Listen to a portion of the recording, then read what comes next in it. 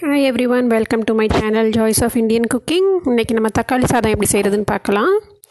அதுக்கு ஒன்றரை cup basmati rice இல்லைன்னா பச்சரிசி ஒரு பெரிய வெங்காயம் மூணுலேருந்து நாலு தக்காளி ஒரு ஒரு டீஸ்பூன் சோன்பு கொஞ்சம் பட்டை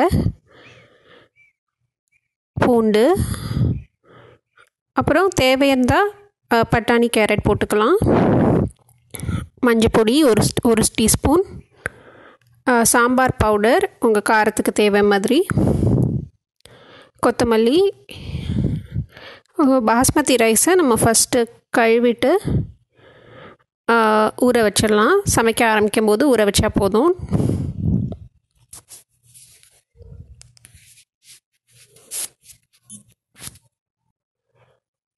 ஒரு ப்ரெஷர் குக்கர்லேயோ இன்ஸ்டன்ட் பாட்லேயோ இல்லை ஓப்பன் ஸ்டவ்வில் கூட ரெண்டே கால் கப்பு தண்ணி ஊற்றி ஒரு விசில் விட்டால் போதும். ஒன்றுலேருந்து ரெண்டு விசில் மேக்ஸிமம் விட்டால் போதும்.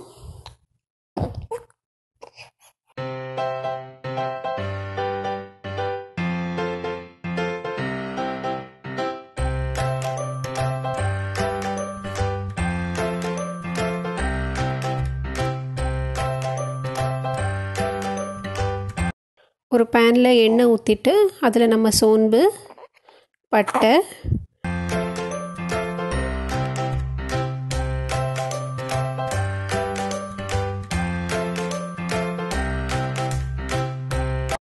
அதுக்கப்புறம் வெங்காயம் நீள நீளமாக கட் பண்ண வெங்காயம். இது வந்து வெங்காயம் வந்து ப்ரௌன் ஆகிறது ஸ்டார்ட் ஆகிறது வரைக்கும் வதக்கலாம்.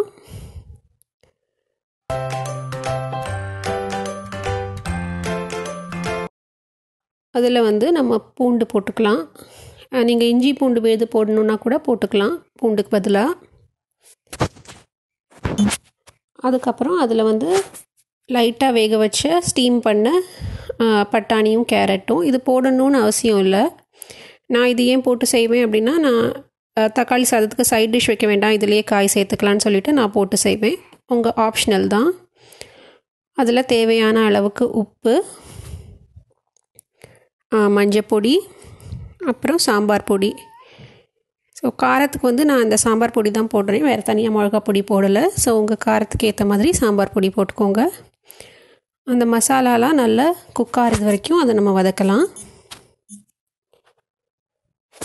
அதுக்கப்புறம் அதில் நம்ம கட் பண்ணி வச்ச தக்காளி ஆட் பண்ணிக்கலாம். அந்த தக்காளியெல்லாம் நல்லா குக் ஆகி ஒரு தொக்கு மாதிரி வரும். அது வரைக்கும் நல்லா வதக்கலாம். அதில் கொஞ்சம் கொத்தமல்லி கொத்தமல்லி இலை போட்டு இறக்கி வச்சிடலாம் ஆஃப் பண்ணிவிட்டு அப்புறம் அடுப்பை ஆஃப் பண்ணதுக்கப்புறம் நம்ம ரைஸை வந்து குக்கான ரைஸ் வந்து அதோடு மிக்ஸ் பண்ணிக்கலாம். இந்த தொக்கு கூட நீங்கள் தனியாக கூட வச்சுக்கலாம். தோசைக்கு சப்பாத்திக்கெலாம் கூட இந்த தொக்கு வந்து நல்லாயிருக்கும்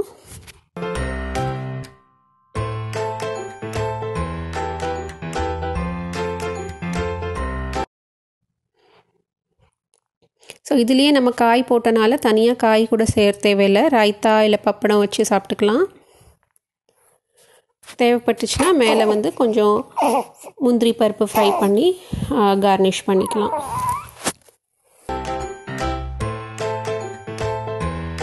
இந்த ரெசிபி நீங்கள் ட்ரை பண்ணிவிட்டு உங்கள் ஃபீட்பேக் கமெண்ட்ஸில் சொல்லுங்கள் இன்னும் நீங்கள் சப்ஸ்கிரைப் பண்ணலன்னா மறக்காமல் சேனல் சப்ஸ்கிரைப் பண்ணி பெல் ஐக்கானும் கிளிக் பண்ணுங்கள் நம்ம அடுத்த வீடியோவில் பார்க்கலாம். பாய்